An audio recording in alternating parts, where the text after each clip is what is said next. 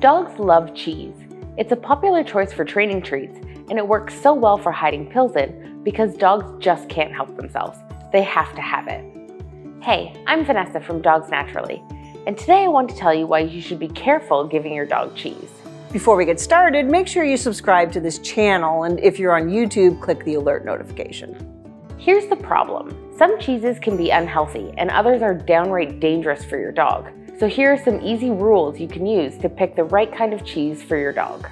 First, let's talk about when cheese is never a good idea. A lot of dogs are lactose intolerant. That means their digestive systems can't break down the natural sugar in milk. To break down lactose, your dog needs a digestive enzyme called lactase, but not all dogs produce enough of this enzyme. And while raw milk is full of lactase, most manufacturers pasteurize their dairy products, which destroys the lactase.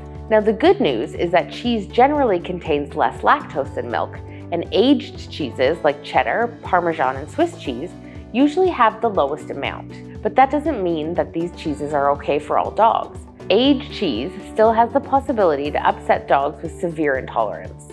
When you give your dog cheese for the first time, it's important to start small and wait about 24 hours to see if your dog has a reaction.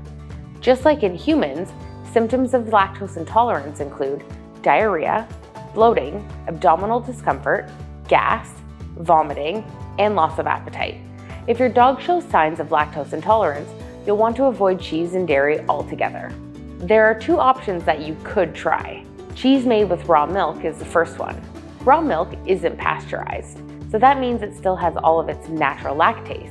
This should help your dog digest the cheese better. The other option is A2 milk. A2 milk contains proteins called casein. Most milk contains A1 or A2 casein.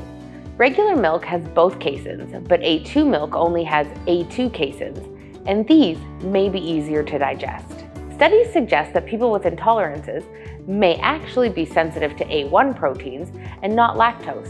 So if you think your dog is lactose intolerant, you may want to try an A2 cheese. So, here are seven tips to choose the best cheese for your dog. The first rule is to watch the salt content.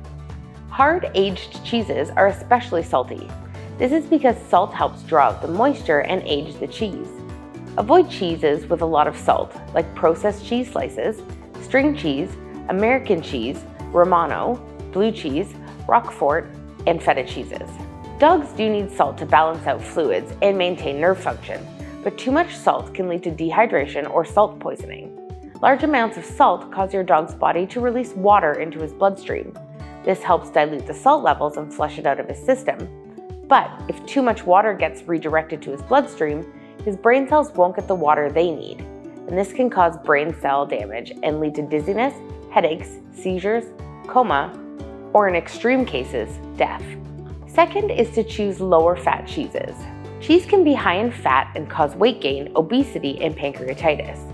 Choosing cheeses that are already naturally lower in fat, like mozzarella, provolone, and parmesan, are better for your dog. Third on the list is to be careful of added ingredients.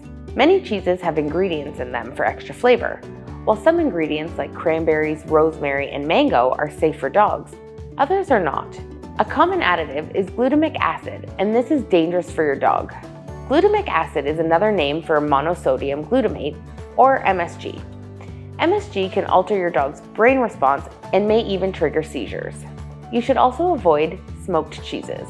Smoking with heat can cause substances called PAHs or polycyclic aromatic hydrocarbons. PAHs can be carcinogenic. Most cheeses are cold smoked, but if you're unsure, it's best to find a different treat. Fourth up is to steer clear of processed cheeses. Cheese slices, spray cheese, and cheese spreads are highly processed and can have added ingredients like sodium phosphate. Sodium phosphate is in spray cheese. It stops the ingredients in spray cheese from separating. Studies have shown that it's absorbed differently than natural phosphate, so it can elevate your dog's phosphate levels and lead to health problems. Fifth on the list is to check the label for added color. When manufacturers want to change the look of their cheese, they add coloring and this includes artificial colors. Another common food coloring in cheese is annatto. This pigment is used to give cheese a golden color. The good news is that annatto is a natural dye and is generally safe. Number six on the list is to be aware of mycotoxins. Ripe, moldy cheeses like Roquefort, Stilton, and blue cheese are a definite no for dogs. These cheeses have high fat and salt contents, but they also contain mycotoxins. If your dog happens to eat ripe, moldy cheese, don't panic. Chances are he will be okay, but just keep an eye out for an adverse reaction.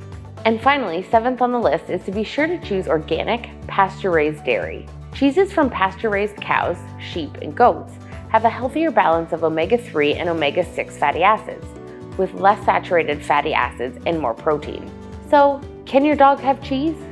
In a nutshell, yes. As long as your dog isn't lactose intolerant, watch the fat and salt content, you don't feed ripe, moldy cheeses, and you make sure any added ingredients are safe for your dog. But don't overdo it. Use it as a special training treat or a snack. If you found this video helpful, feel free to like and share it. For more helpful tips and tricks, visit www.dogsnaturallymagazine.com. Thanks for watching.